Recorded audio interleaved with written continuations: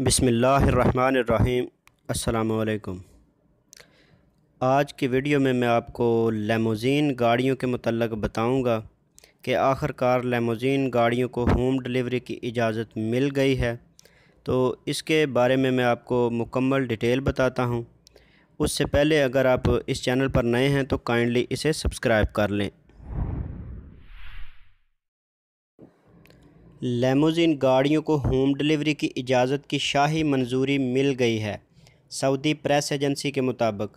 Saudi वज़ीर transport engineer साले बिन नासर अल जासर ने कहा है कि लेमोजिन गाड़ियों को होम डिलीवरी की इजाज़त देने पर खादम हरमैन शरीफैन शाह सलमान बिन अब्दुलज़ीज़ और वली अहद शहज़ादा मोहम्मद बिन सलमान का शुक्रिया अदा करते हैं।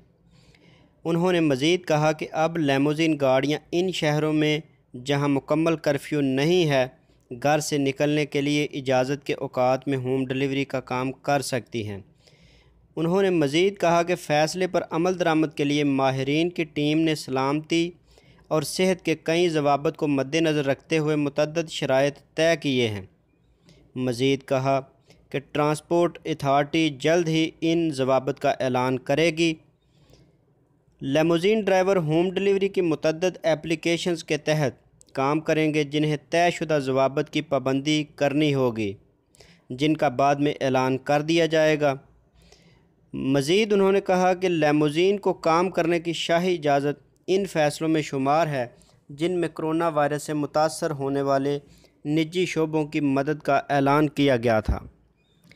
तो ये कुछ डिटेल उन्होंने इशाया की है तो अभी मुकम्मल तौर पर इसका डिटेल नहीं आई है कि ये किस तरह से चलेंगी या किस तरह इनकी इनको इजाज़त मिली है।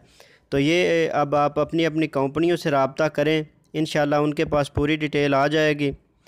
तो अगर आपको मेरी ये वीडियो पसंद आए तो इसे लाइक और शेयर ज़रूर कीजिएगा। तो मिलते हैं किसी नेक्स्ट अपडेट के साथ। तब तक के लिए अल्लाह हाफिज़।